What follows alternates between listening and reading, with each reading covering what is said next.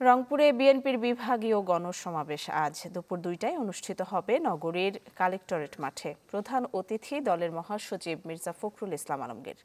নির্দলীয় সরকারের অধীনে আগামী জাতীয় নির্বাচন সহ নানা দাবিতে আয়োজিত গণসমাবেশে বক্তব্য দেবেন স্থানীয় ও কেন্দ্রীয় নেতারা। একই দাবিতে এর আগে চট্টগ্রাম, ময়মনসিংহ ও খুলনায় গণসমাবেশ হয়েছে। কর্মসূচি সামনে রেখে গত রাত থেকেই সমাবেশ স্থলে জড়ো হচ্ছেন দলটির নেতাকর্মীরা। এদিকে রংপুর গাইবান্ধায় ঘোষণা দিয়ে ধর্মঘট ডাকা হলেও দিনাজপুর, কুড়িগ্রাম, পঞ্চগড়েও বন্ধ রয়েছে দূরপাল্লার বাস। বিশেষ কারণ দেখিয়ে বাস চলছে না বগুড়া, রংপুর রুটেও, তবে কোনো বাধাই দমাতে পারবে না কালেক্টরেট মাঠের গণসমাবেশ, বলছেন বিএনপি নেতারা।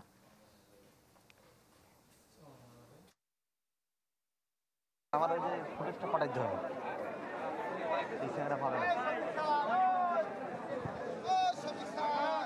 যত বাধা বিপত্তি আসুক, শহীদ জিয়ার সৈনিকেরা, খালেদা জিয়া এবং জনাব তারেক রহমানের সৈনিকেরা এবং দেশের মানুষ যেভাবে জেগে উঠেছে, জনগণ আর ঘরে ফেরত যাবে না। গণপরিবহন বন্ধের খবর জানাতে গাইবান্ধা এবং দিনাজপুর থেকে আমাদের সহকর্মীরা আমাদের সাথে যুক্ত হবেন। শুরুতেই গাইবান্ধায় চলে যেতে চাই। সেখান থেকে যুক্ত আছেন আসাদুজ্জামান মামুন। মামুন, গণপরিবহন বন্ধের কি খবর আছে আপনার কাছে? সবশেষ। হ্যাঁ নিশ্চয়ই এই মুহূর্তে আমি দাঁড়িয়ে রয়েছি গাইবান্ধা বাস টার্মিনাল এলাকায়। এখানে দেখতে পাচ্ছেন যে আমার পিছনে অসংখ্য যাত্রী কিন্তু রংপুর, বগুড়া সহ উত্তরবঙ্গ সহ ঢাকার দিকে যেতে চাচ্ছে। তারা কিন্তু পরিবহন না পেয়ে তারা কিন্তু যেতে পারছে না। তারা অসহনীয় দুর্ভোগের মধ্যে পড়েছে। আমি এবং বিএনপি নেতাকর্মীদের সাথে যেটা কথা বলে জানতে পারছি, তারা কিন্তু বলছে যে মহাসমাবেশকে কেন্দ্র করেই কিন্তু এই পরিবহন ধর্মঘটটা ডাকা হয়েছে। সে কারণে তারা কিন্তু, আমি আজকে ভোরবেলা দেখেছি যে প্রায় দেড়শো অটো নিয়ে বিএনপির নেতাকর্মীরা গাইবান্ধা থেকে রংপুরের উদ্দেশ্যে রওনা হয়েছে। তা আমি এখন একজনের সাথে কথা বলতে চাই, যে যে রংপুরে যাবে, তা আসলে আপনি কখন আসছেন এখানে এবং কোথায় যেতে চান? আমি সাতটা, পনেরো সোয়া সাতটা থেকে এখানে আসি কিন্তু রংপুরে যাব, আমার অফিস আছে। কিন্তু আমি যাইতে পারতেছি না, গাড়ি না থাকার কারণে। আমি অনেকক্ষণ থেকে অপেক্ষা করতেছি এবং গাড়ি খোঁজাখুঁজি করতেছি, কোনো গাড়ি পাইতেছি না। তো শুনলেন যে উনি রংপুরে চাকরি করে রংপুরে চাকরি করার সুবাদে উনি গাইবান্ধা যেতে চায়। তো যার কারণে কিন্তু উনি কিন্তু যেতে পারছেন না পরিবহনের অভাবে। আর একজনের সাথে কথা বলতে চাই যে আসলে আপনি কোথায় যেতে চান? আমি বগুড়া যেতে চাই। আমি বগুড়া অফিস করি তো বগুড়া যেতে চাই। হ্যাঁ, তো যাওয়ার পর ইচ্ছে বর্তমানে গাড়ি না থাকার কারণে আমি বাস স্ট্যান্ডে বসে আছি কিন্তু গাড়ি পাচ্ছি না। না যাওয়ার কারণে আমার অফিস মনে হয় যে যাওয়া হতে হবে না। আপনি কি চাকরি করেন?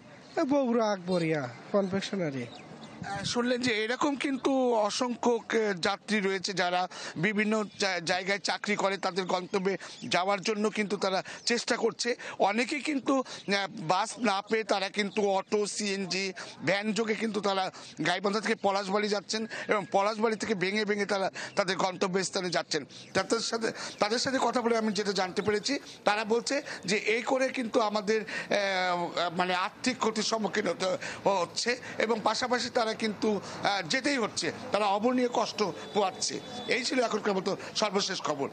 মামুন, ধন্যবাদ। আমরা দেখতে পাচ্ছি লালমনিরহাট থেকে আমাদের সাথে যুক্ত হয়েছেন মিলন পাটোয়ারি। মিলন, আপনার কাছে কি খবর আছে?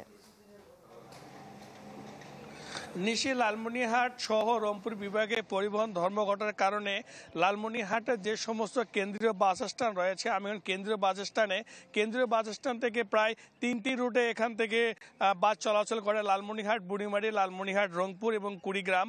তবে লালমনিহাট রংপুরে যে যে বাস চলা বাস চলাচল, যাত্রীবাহী চলাচল বন্ধ থাকার বন্ধ থাকার পরে যে বাস যাত্রীগুলো রংপুরে বিভিন্ন কাজে যায়, তারা এবং ডাক্তার দেখার সঙ্গে রোগী সহ বিভিন্ন বিভিন্ন যে লোকজন যে রংপুরে যায়, এই সমস্ত রংপুরে যাওয়া লোকজন চরম দুর্ভোগে পড়েছে।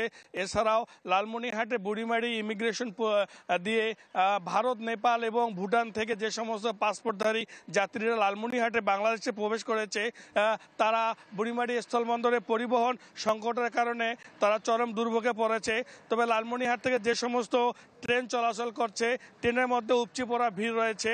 তবে যে সমস্ত বিএনপির পক্ষ থেকে আমাদের জানিয়েছে যে পরিবহন ধর্মঘট ডাকা হয়েছে, তাদের মহাসমাবেশটাকে বানচাল করার জন্য।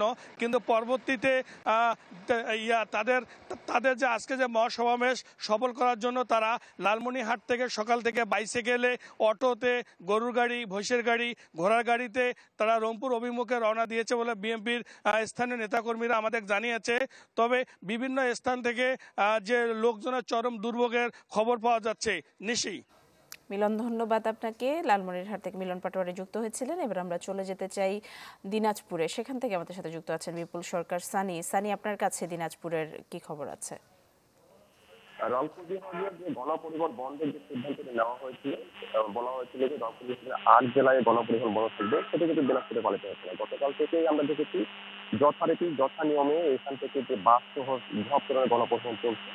তবে গণপরিবহন চললে যাত্রী সাধারণত কিন্তু উপস্থিতি একেবারেই কম। আমরা এখানে যারা সংশ্লিষ্ট তাদের সাথে কথা বলেছি, তারা বলছেন দিনাজপুর থেকে পঞ্চগড় এবং দিনাজপুর থেকে গাইবান্ধা যে ইয়েতে যা- বাস চলাচল করছে, সেগুলো কিন্তু সঠিকভাবে চলাচল করছে। তবে দিনাজপুর থেকে রংপুরিতে যেসব বাস চলাচল করছে, সেগুলো কিন্তু রংপুর পর্যন্ত পৌঁছতে পারছে না। তার আগে ফরিদপুরে তাদেরকে যাত্রী না নিয়ে আমার ফেরত আসতে হচ্ছে। এক্ষেত্রে যাত্রী সাধারণ বলেছেন যে তাদের এক বেশ ধরনের দুর্ভোগে পড়তে হয়েছে রংপুর গ্রাম যাত্রীরা। তারা বলছেন যে ফরিদপুর থেকে রংপুরে যাত্রাতে বেশ বেগ পেতে হচ্ছে এবং বিশেষ প্রয়োজনে তার যারা দিনাজপুর থেকে রংপুরে যাচ্ছেন। তাদেরকে অনেকটা কষ্ট করে ইজি বাইকিং বা অন্যান্য পরিবহনে চলাচল করতে হচ্ছে। এবং এখানে বাস মালিক সমিতির নেতাদের সাথে আমরা কথা বলেছি। তারা বলেছেন যে, রংপুর থেকে যে সিদ্ধান্ত নেওয়া হয়েছিল গণপরিবহন বন্ধের সেটা কিন্তু দিনাজপুরকে সমন্বয় না করেই এই সিদ্ধান্ত নেওয়া হয়েছে। যার কারণে তারা রংপুরের সাথে যে কর্মসূচি, সেই কর্মসূচিকে তারা পালন করছেন না। এবং গণপরিবহন বন্ধের যে ঘোষণাটি দেওয়া হয়েছিল, সেটি সব দিকে ছড়িয়ে পড়ার কারণে দিনাজপুরের যাত্রীর সাধারণ উপস্থিতি একেবারে কম। যার কারণে তাদেরকে বেশ লোকসানও পোহাতে হচ্ছে। তো দিনাজপুর থেকে এই ছিল গণপরিবহন বন্ধের বিষয়টি। সানি, ধন্যবাদ দিনাজপুর থেকে বিপুল সরকার। সানি, যুক্ত হয়েছিলেন। গণপরিবহন বন্ধের খবর জানাতে দেশের বিভিন্ন জেলা থেকে আমাদের সহকর্মীরা আমাদের সাথে যুক্ত হয়েছিলেন। আমরা চলে যাব পরের খবরে। নেই সংযোগ সড়ক, তাই ছয় বছরেও কোনো কাজে আসেনি সুনামগঞ্জের দুটি সেতু। এলাকাবাসীর অভিযোগ, অপরিকল্পিতভাবে নির্মাণ করা হয়েছে সেতু দুটি। এদিকে ভূমি অধিগ্রহণ জটিলতায় আটকে আছে নেত্রকোনার কলমাকান্দা সড়কের তিনটি সেতুর সংযোগ সড়কের নির্মাণ কাজ। সেতু আছে, নেই সংযোগ সড়ক। সুনামগঞ্জের তাহিরপুরে বাষট্টি লাখ টাকা ব্যয়ে দুটি সেতু নির্মাণ হলেও অকেজো হয়ে পড়ে আছে গত ছয় বছর ধরে। দুই হাজার ষোলো সালে উপজেলার বাদাঘাট শান্তিপুর খালের উপর নির্মাণ করা হয় একটি সেতু। কিন্তু সংযোগ সড়ক না থাকায় সেতুটি কোনো কাজে আসছে না এলাকাবাসীর। একই অবস্থায় পড়ে আছে তাহিরপুর বাধাঘাট খালের উপর নির্মিত আরেকটি সেতু। অযত টাকা পালাইছে কেন পালাইছে তারা? কোন কারণে পালাইছে এই রাস্তা ওই দিক দিয়ে ভাঙ্গা ওই দিক ভাঙ্গা বিগত পাঁচ বছর ধরে এটা এইভাবে পড়ে আছে। আগে রিক্সা ভ্যান গাড়ি লইয়া বা অন্য অন্য গাড়ি দিয়া ধান টান লইয়া আমরা বাড়িতে যেতাম এখন আর আইতে পারি না।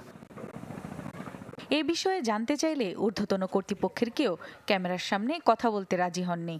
বন্যা আরও বেশি ক্ষতিগ্রস্ত হয়েছে। হ্যাঁ রাস্তাগুলো আর কি হ্যাঁ তো এগুলো আমরা এবার পরিকল্পনায় আছে। হ্যাঁ এবার আমরা আশা করি মনে করেন ডিসেম্বর নাগাদ আমরা ঠিক করে ফেলতে পারব ডিসেম্বরের মধ্যে। এদিকে আটকে আছে নেত্রকোনার কলমাকান্দার তিনটি সেতুর সংযোগ সড়কে নির্মাণ কাজ। জমির টাকা বুঝে না পাওয়ায় কাজ বন্ধ করে দিয়েছেন স্থানীয়রা। আমরা এই ক্ষতিপূরণ যে ন্যায্য না পাই এই পর্যন্ত দেখ আমরা এই সরকারের এই সরকারের অধীনে বা সড়কের অধীনে আমরা দিতে বাধ্য না। বিভিন্ন জায়গায় আমরা বাধা দিতেছে ওনাদের এ করে টাকা পরিশোধ না হওয়া পর্যন্ত ওরা কাজ করতে দিবে না। ভূমি অধিগ্রহণ জটিলতার বিষয়টি স্বীকার করে সড়ক বিভাগের এই কর্মকর্তা জানান দ্রুত রাস্তা নির্মাণের কাজ শুরু করা হবে। আমাদের ভূমি অধিগ্রহণের জটিলতা রয়েছে এবং সাথে করে আমাদের বৈশ্বিক মহামারী করোনা এবং অতিবৃষ্টির ফলেও কাজটি বিলম্বিত হয়েছে।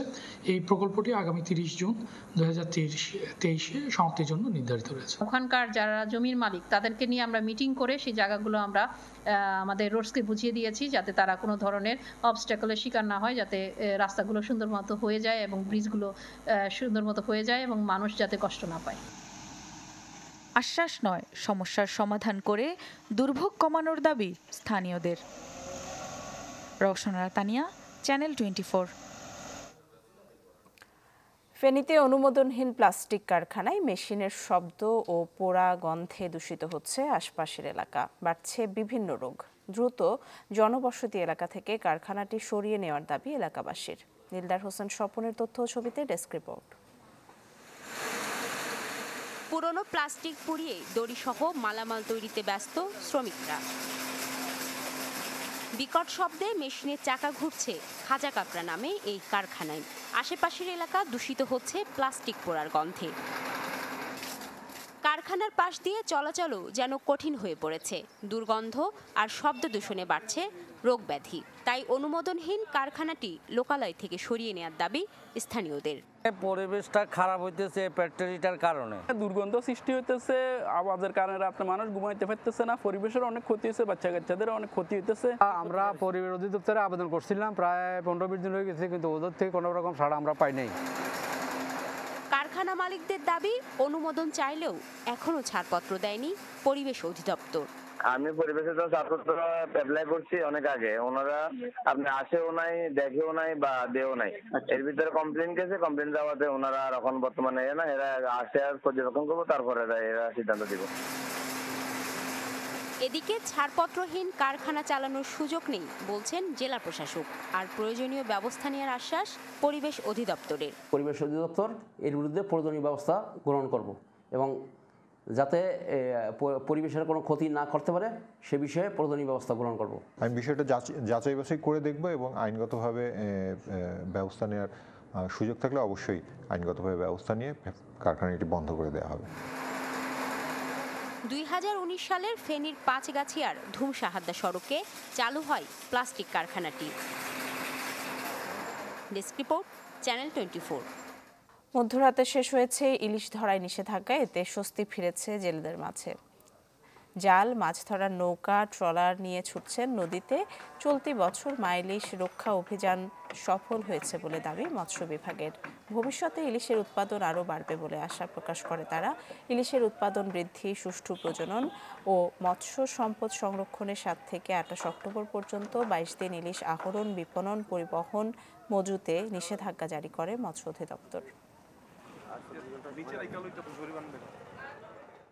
তেইশ দিন বা- জাল বা বন্ধ দিছি। আমরা চাউল পাইছি বিশ কেজি, বাইশ কেজি। এটা আমগো হয় না। এই যে বাইশ দিনকার অভিযান দিছে আমরা আসছি আর খাইছি কোনো কুল কান কুল কিনার নাই। আর ঘূর্ণিঝড় রয়েছে অনেক গাছপালা হইলে গাছ গাছ টাছ হইরা ঘর দুয়ার নষ্ট হয়েছে কিছু পাওয়া যাচ্ছে না। এবার ওই অভিযান শেষ যদি আল্লাহ কিছু দেয় নদীতে তো আমরা কিছু পাম। এখন অভিযান শেষ যদি আল্লাহ নদী জামু যদি আল্লাহ মাছ দেয় নিজেরা খামু দেনা ফেনা কিছু শোধ দেবো আমরা মোবাইল কোড অভিযানের মাধ্যমে আমরা ভোলা জেলায় মোটামুটি আমরা নিয়ন্ত্রণে আনতে পারছি এবং এর ফলে ইলিশ নির্বিঘ্নভাবে ডিম ছাড়তে পারছে। আমরা আশা করতেছি যে ইলিশের উৎ- উৎপাদন আরও বৃদ্ধি পাবে। আমাদের লক্ষ্যমাত্রা এক লক্ষ বিরানব্বই হাজার মেট্রিক টন। এটি আমরা আমাদের প্রত্যাশা অনুযায়ী এ বিষয়ে আরও খবর জানাতে এই মুহূর্তে বরগুনা থেকে আমাদের সাথে সরাসরি যোগ দিচ্ছেন আবু জাফর সালে। সালে কি খবর আছে? মাছ ধরায়, ইলিশ মাছ ধরা নিষেধাজ্ঞা তো শেষ হয়েছে। আজকে দিনে কি খবর আছে? নিশি বাইশ দিনের যে ইলিশ ধরাতে নিষেধাজ্ঞা শেষে আজ রাত, মধ্যরাত থেকে ইলিশ ধরা শুরু হয়েছে এবং সকাল থেকে বাজারে ইলিশ আসতে শুরু করেছে। তবে এখন পর্যন্ত আসলে এরকম পর্যাপ্ত পরিমাণ ইলিশ আসেনি। হয়তো আজ রাত থেকে শুরু করেছে। এরপর থেকে হয়তো যেটি ব্যবসায়ীরা যায় পাইকার বা আড়তদার যারা আছেন, তারা যে বিষয়টি জানাচ্ছেন যে হয়তো বা আজকে বিকালের দিকে বা যারা সাগরে মাছ শিকারে গেছে, সেটা আরও হয়তো তিন চার দিন পরে আসবে। আর যেটি হচ্ছে আর তবে যে মাছগুলো আসছে বা- ইলিশ সেগুলোর দামও কিন্তু আসলে আগের চেয়ে একটু বেশি, যেহেতু এখন পর্যন্ত ইলিশ বাজারে এখন পর্যন্ত ওরকম আসেনি। আমি তবে এই যে মা ইলিশ রক্ষায় যে অবরোধ ছিল এবং তারপরে যে একটি যে ইলিশ ডিম ছাড়ার যে কথা ছিল, আমি এই বিষয়ে আসলে এখানে একজন ব্যবসায়ী আছে, তার সাথে কথা বলব যে আগের যে ইলিশগুলো আপনারা বিক্রি করেছেন, এবারের যে অবরোধের পর যে ইলিশগুলো বিক্রি করছেন, আসলে সেগুলোর ভিতরে পার্থক্য কি দেখছেন? পার্থক্য বড় মাছের বড় মাছের মনে করেন আটানি পরিমাণ ডিম ছাড়ছেন বড় মাছ। হ্যাঁ বড় মাছের সংখ্যা অনেক কম, ডিম ছাড়ছে। কিন্তু এবছর দেখা যায় যে ছোট মাছগুনা, সে ডিমেলা ডিমেলা যে মাছগুনা হয়, সেই ডিমেলা মাছগুনা প্রত্যেকই মাছেরই ডিম ছাড়িয়ে গেছে। হ্যাঁ কিছু কিছু ডিম ছাড়ে নাই। কিন্তু গেল বছর থেকে একটু বেশি ছাড়ছে বছর। বাজারে ইলিশের পরিমাণটা কেমন? আজকে সকালে কেমন? সকালে তো অনেক কম। ইলিশের সংখ্যাও অনেক কম। তো আসলে নিশ্চিত বিষয়টি জানলেন। তবে আরেকটি বিষয় রয়েছে যে বাইশ দিনের নিষেধাজ্ঞা শেষে যে ইলিশ ধরা নিষেধাজ্ঞা এই বাইশ দিনের সময় যে জেলেদের যে সহায়তা দেওয়ার কথা ছিল যে চাল সেটি কিন্তু এখনও আহ, যে বরগুনা জেলার সব জায়গায় কিন্তু সব জেলেরা কিন্তু সেটি এখনও পায়নি। যার কারণে কিন্তু জেলেদের একটি ক্ষোভ রয়েছে যে তাদের যে সহায়তা দেওয়ার কথা ছিল সেটি তারা ঠিক সময় না পাওয়ার জন্য তাদের একটি ক্ষোভ রয়েছে এবং বিভাগ বলছে যে এটি তারা দ্রুতই পৌঁছে দিবে। এই ছিল বরগুনা থেকে সর্বশেষ নিশ্চিত। ধন্যবাদ আপনাকে দর্শক বরগুনা থেকে যুক্ত হয়েছিলেন আবু জাফর সালে চলে যাব পরের খবরে। বাড়ি থেকে বিতাড়িত হয়ে প্রায় দু বছর ধরে চট্টগ্রামের চাঁদগাঁও এলাকায় ফুটপাতেই কাটছে বয়োবৃদ্ধ সহ পাঁচ সদস্যের একটি পরিবারের। দিন যাচ্ছে খেয়ে না খেয়ে। পরিবারটির দাবি, উত্তরাধিকার সূত্রে পাওয়া কোটি টাকার সম্পত্তি আত্মসাতের জন্য তাদের বাড়ি থেকে তাড়িয়ে দিয়েছে আত্মীয়রা। পুলিশ বলছে, সত্যতা মিললে নেওয়া হবে ব্যবস্থা। জোবাইর মঞ্জুরের রিপোর্ট। ফুটপাতে ত্রিপল টানানো ছোট্ট ঝুপড়ি। সেখানে দুই মেয়ে আর দুই নাতনি নিয়ে গাদাগাদি করে থাকছেন আশি বছরের বৃদ্ধা নূরনাহার, যেন ছিন্নমূলের জীবন। চট্টগ্রাম নগরের চাঁদগাঁও নুরুল ইসলাম পৌর বালিকা বিদ্যালয়ের সামনে সড়ক ধরে হাঁটলে এ দৃশ্য নজর কাড়বে যে কারও, যেখানে রোদ বৃষ্টির সঙ্গী করে খেয়ে না খেয়ে দিন কাটে এই পাঁচজনের। ছয় মাস ধরে এই জায়গায় থাকছে পরিবারটি। নূরনাহারের মেয়ে রুব্বানের দাবি, তারা অন্য আর দশটা ছিন্নমূল পরিবারের মতো নয়। উত্তরাধিকার সূত্রে পাওয়া তাদের কোটি টাকা মূল্যের জায়গা আছে চাঁদগাঁওয়ের শেরালি সৌদাগরের বাড়িতে। কিন্তু সম্পত্তির লোভে কয়েক বছর আগে তাড়িয়ে দেয় আপন চাচা সহ এলাকার কয়েকজন। সেই থেকে এভাবেই ভবগুরে জীবন তাদের। এটা হইতে না, নানার সম্পত্তি বেশি। নানারও সম্পত্তি বেশি। নানার সম্পত্তি কিন্তু হল করতে ব্যাকুন বেরিয়ে নেয়? সেই বাড়িতে গিয়ে দেখা যায় অনেকটা পরিত্যক্ত অবস্থায় পড়ে আছে তাদের জায়গাটি। কিন্তু তাড়িয়ে দেওয়ার বিষয়টি মিথ্যা বলে দাবি অভিযুক্ত চাচা ও স্বজনদের। আপনারা নাকি তাদেরকে তাড়াই দিচ্ছেন তারা তাদেরকে নাকি নির্যাতন করছেন না না না কিছু না বাড়ি বাড়ি নেওয়া আপনারা তো আসেন আসে ওই জিনিসটা আপনারা তো ক্লিয়ার করে দেন কোনো সুবিধা নেই কেন আপনারা তো আসে আপনারা তো থাকবেন। পরিবারটির অসহায়ত্ব দেখে তাদের পাশে দাঁড়াতে সিএমপি কমিশনার এবং সমাজসেবা অধিদপ্তরকে চিঠি লিখেছে বাংলাদেশ হিউম্যান রাইটস ফাউন্ডেশন। আমরা প্রশাসনকে জানিয়েছি যদি প্রশাসন ইতিমধ্যে কোনো ব্যবস্থা নিতে ব্যর্থ হয় আমরা অবশ্যই মাননীয় উচ্চ আদালতের দৃষ্টিতে আনব এই বিষয়টি। পুরো বিষয়টি খতিয়ে দেখার পাশাপাশি তাদের আইনি সহায়তা দেওয়ার কথা বলছে পুলিশ ও স্থানীয় জনপ্রতিনিধি। তদন্ত করব। অভিযোগের সত্যতা পাওয়া গেলে আমরা ব্যবস্থা নিব। আর যদি সেটা দেওয়ানি কোনো ম্যাটার হয় সেটা অবশ্যই তাদেরকে আমরা পরামর্শ দিব। দাঁড়িয়ে সূত্র আমি টানবো। আর যদি ওনার হয়ে থাকে তাহলে আমি ওনাকে ওই জায়গা বুঝিয়ে দেবো হস্তক্ষেপ করব। পরিবারটি আসলে কারও রোশানলের শিকার কিনা তা খুঁজে বের করার দাবি স্থানীয়দের। Zubair Manzur channel twenty four Chattogram. Khulna মহানগরীতে হয়ে গেল স্পিড ক্যারাম চ্যালেঞ্জের ফাইনাল খেলা। শুক্রবার প্রভাতী মাধ্যমিক বিদ্যালয় মাঠে হয় এই খেলা। নগরীর ১৩ নম্বর ওয়ার্ডের মোহাম্মদ নাদিম ও তুষার দাস জুটি চ্যাম্পিয়ন হয়েছেন। রানার আপ হয়েছেন একুশ নম্বর ওয়ার্ডের শাহিন সর্দার ও জাহিদুল মোল্লা জুটি। প্রতিযোগিতা শেষে ট্রফি ও চ্যাম্পিয়নদের মাঝে পঞ্চাশ হাজার টাকা পুরস্কার দেওয়া হয়। রানার আপদের হাতে রানার আপদের দেওয়া হয়েছে ত্রিশ হাজার টাকা। বিজয়ীদের হাতে ট্রফি ও প্রাইজ মানি তুলে দেন আকেজ ফুড অ্যান্ড বেভারেজ লিমিটেডের জেনারেল ম্যানেজার মোহাম্মদ মাইদুল ইসলাম।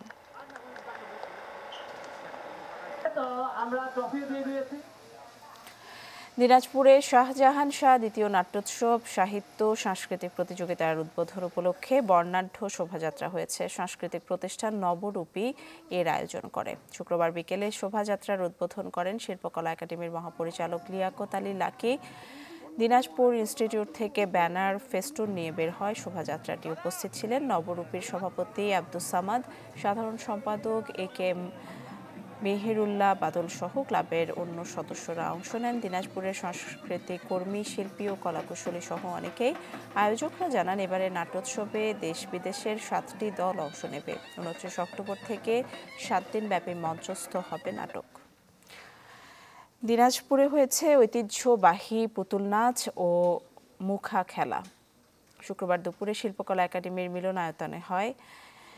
এই আয়োজন যৌন- হয়রানি বাল্যবিয়ে কুসংস্কার বন্ধ সহ নানা বিষয়ে ফুটিয়ে তোলা হয় পুতুল নাচের মাধ্যমে, যা উপভোগ করেন নানা বয়সী মানুষ।